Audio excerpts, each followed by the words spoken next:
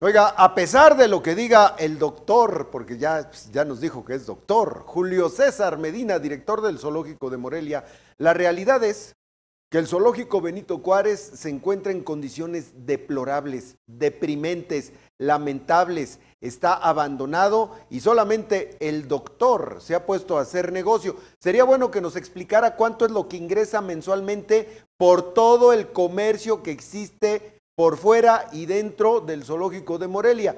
A ver si eso este, lo informa, doctor. Y además también platíquenos, mire, porque una de las cosas que dicen es que son bien limpios en el zoológico, que no había ningún dren tapado, que ellos no tuvieron la culpa. Pues mire cómo manejan la basura. Estas imágenes son del día de ayer.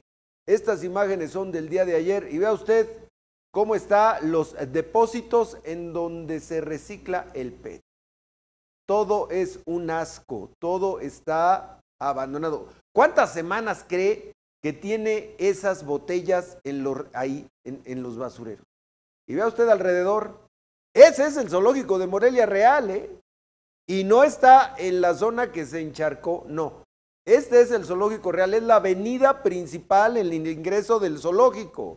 Así lo reciben en el zoológico, no, y espérame. A ver, doctor, Julio César Medina, hazme el favor de explicarme esto, porque estamos hablando de agua, ¿no? Y esto tampoco está en la zona encharcada, ¿eh? Fíjate nada más, este es un lavamanos en el zoológico de Vea las condiciones en las que el doctor tiene eh, los lavamanos de los baños del zoológico de Morelia. Ese es el verdadero zoológico de Morelia. Eso es lo que quieren tapar. Eso es lo que quieren que usted no se entere. Y además le voy a decir algo, muchas personas han asistido ya al zoológico y se han dado cuenta de la tristeza en que se ha convertido. Y vamos a hablar después de las zonas que mantiene cerradas, doctor, y que no explicas por qué están cerradas.